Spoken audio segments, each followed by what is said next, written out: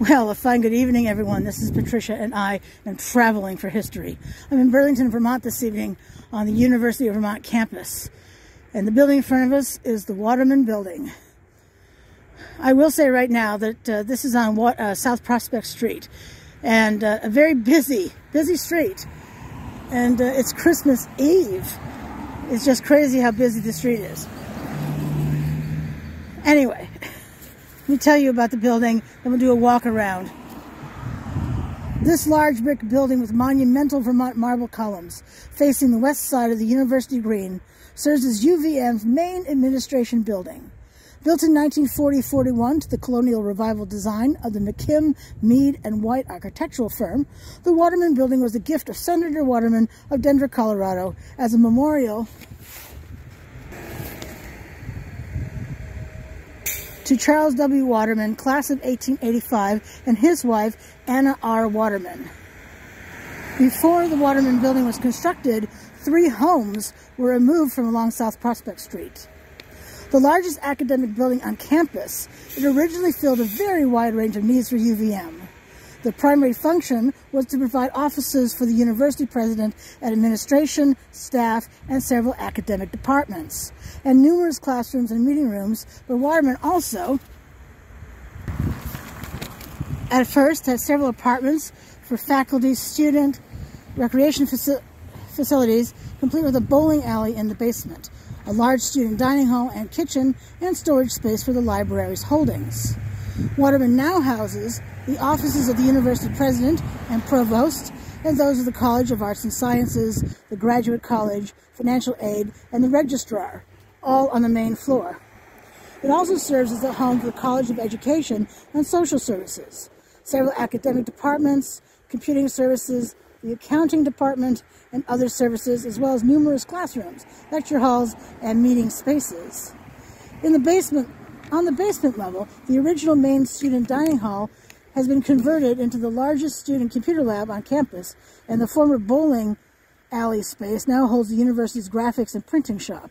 The library storage space was converted into a lecture hall and a meeting room. Formal dining facilities are still offered on the top floor in the Waterman Manor, while snacks and light takeout foods are available at a concession on the College Street level. I should note that that was written in 1999 and uh, could be that uh, some of these places have changed uh, since then. But let's do a walk around to the building, and uh, I mean, light is night is falling, so I don't know if uh, we're gonna have enough light. My new phone uh, does not does not make it look like daylight for you, unlike my last one. So, what can I say?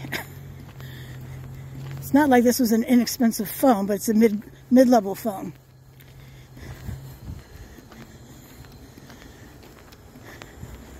Although maybe the light you're seeing is a little lighter than what I'm seeing personally. Hard to say.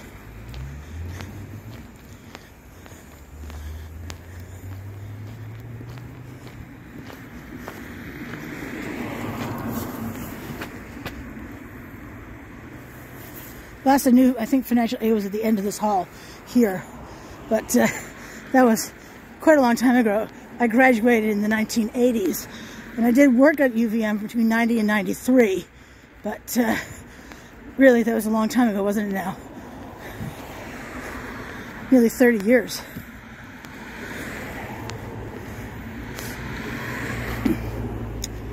They're doing some sort of construction work here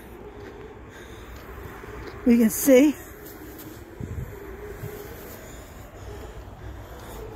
I don't know what they're doing, but they're doing something.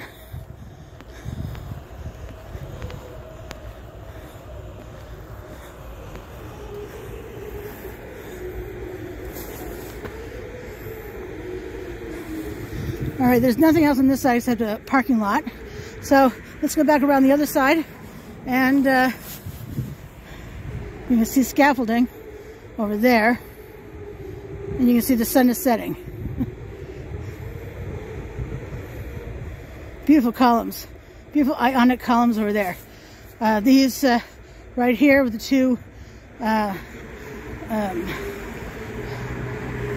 rolls. I talked about that briefly for the Ira Allen video, and that's what the ionic column looks like. All right, I'm going to pause this uh, video, get to the other side, and start filming again. Hang on, I'll be right back. One thing I want to point out is this this beautiful stack wall here. It's just gorgeous, isn't it? This did not exist when I was a student here. It's a beautiful addition, though. All right, I'll pause again. Alrighty, now here's the other side of the building. And let's walk down the hill. Let's walk down the hill and, uh, and take a gander how beautiful this building is.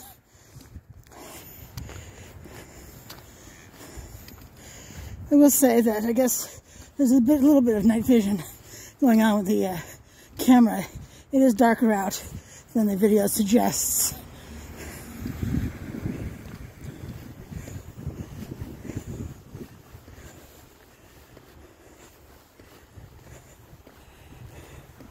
I just love the lights on the building here. Aren't they? Aren't they something else? I mean, that's a wow factor. And two up there as well. Love that. I don't know if I can kill that. See, uh, you see the stairs right there. And even the stairs are beautiful. The railings are just lovely. All right, let's continue down. And, uh, I guess I'll stay on the sidewalk. But uh,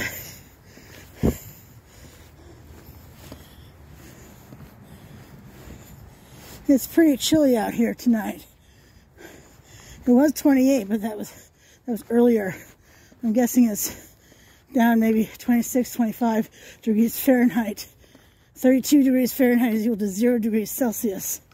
Just so you can have an idea of uh, the temperature, but there's a wind chill on top of that. When it was 28 degrees, it felt like 20. And uh, it's pretty breezy.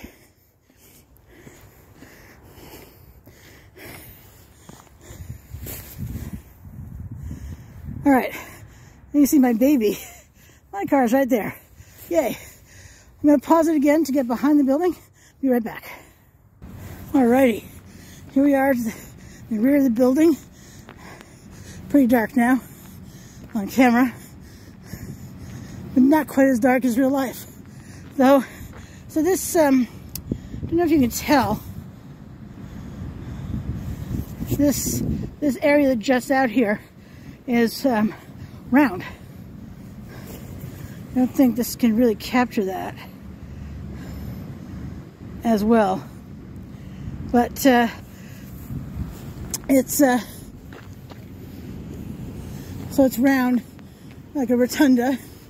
And uh, I think this is where Waterman Manor is, up on the top floor of this back area here.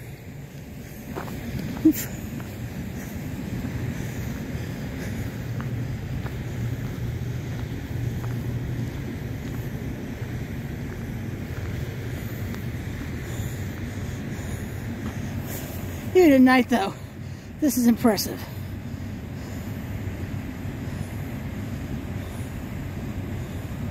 You get a much better sense of how that's round now.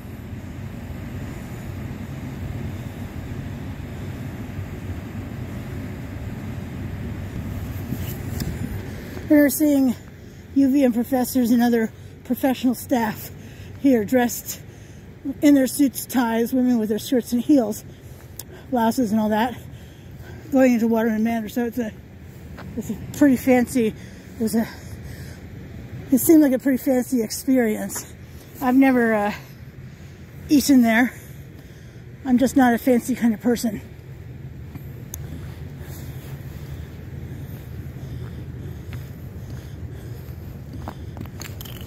Oops, that was ice in case you heard that sound of something skidding across the ground.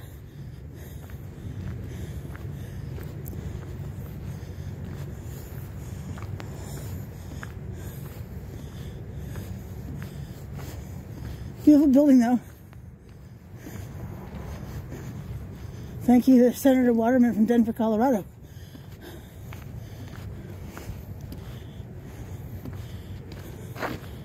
No, this is not chump change you donated to have this place built.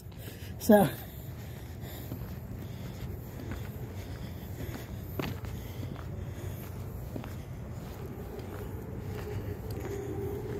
Alrighty, and this is the scaffolding we saw from the other side.